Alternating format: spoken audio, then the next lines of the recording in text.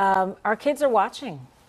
They're watching all this happen, especially the fact that it's happening across our area.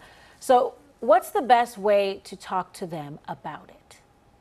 We want to bring in Dr. George James from Thomas, Je Thomas Jefferson University, uh, joining us now. Good morning.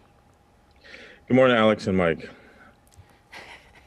Uh, so let's first start with uh, the fact that it's important first that we even have the conversation, right? Don't just try to say they're too young or ignore it. You know, one of the the biggest things is that as parents, guardians, uh, godparents, you have to face your own anxiety about talking about racism. It can feel like a hard topic or difficult topic. Will you get it right? Will you say the right thing? But you have to be able to face that and say that it's necessary to talk about it, that you have to talk about it. And then once you can fi- face that part, then you can move forward and actually have the conversation or series of conversations with the young folks that are in your life. Let's kind of break it down into maybe age groups um, and how specific mm-hmm. you might get. Would you talk about the the unrest and because they're the kids sometimes as much as you try to keep them away from the TV they're seeing people running through the streets and windows being smashed and stuff like that do you break it down with all the different Im- images and then we'll get into age yeah, I think no no matter what, you want to be honest and open with your child and or children about what's going on, about injustice, about racism. The difference is that you try to find age appropriate language. And you know, to your point, what happens is that children see or hear what's going on. Sometimes they see what's on our televisions, uh, sets, or they hear what we're talking about. Sometimes mm-hmm. th- this invokes a lot of passion for people. So you could think you're in another room and your child oh, or no, children hear. don't hear you, but they hear and they hear all the words. So that's why it's so mo- so important to then have conversations with them so that they're just not confused. And that's that's the important thing when it comes to being confused. And and is it, it should it be something that we give them something to read? Should it be that we just sit down and turn everything off and talk?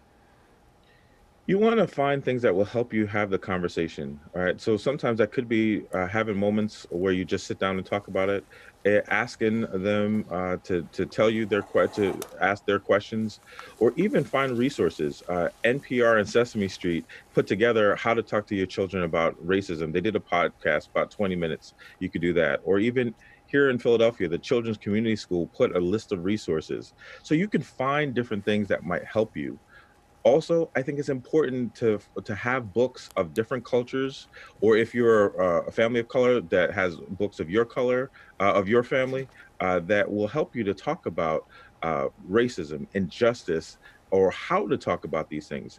There are books of all different backgrounds that will help you to have these conversations. One thing that worked for me over the years or maybe it has worked i'm not sure i have to talk to my daughters that would just we would just simply watch TV and not have a all right everybody sit down. I'm going to talk to you about the birds and the bees and just let them happen let it happen organically as you're watching TV the comments you make will express to them the way you feel. And another thing is listen to them. Yeah it's definitely important to do that. One of the things that I love about my own children's school they had they talked about uh, Goldilocks in five different cultures right? So it allowed us to have conversations about culture, about difference, about what they are learning. And then from there, you can now take it to a deeper conversation about injustice, about how people can be treated unfairly just because of how they look. And being able to have those conversations over and over can allow your child or children to feel safe, to feel that they can come to you as their parent and know what to do when they go forward. And should it be more than um, just a talk? Should it be maybe going to do activities where they can and learn different things or go out in the community and volunteer or with the cleanups that have been going on, go out and help clean up? I think all of that is great. the biggest thing that a parent or, or, parents can do is to model the behavior. What are you reading? What mm-hmm. are you talking about? What are you doing? Right? That it, it's it's to go beyond just feeling bad, but to move to action and that if you are doing something if you are volunteering if you are uh, doing things in different communities if you're showing that to your child young at a young age they will see that they will embody that they will want to do that throughout their lives. Do you have friends of different cultures? Do you connect with your coworkers? What are you doing in your own life and your children will see that? Yeah. They do model our behavior don't they doctor? They do.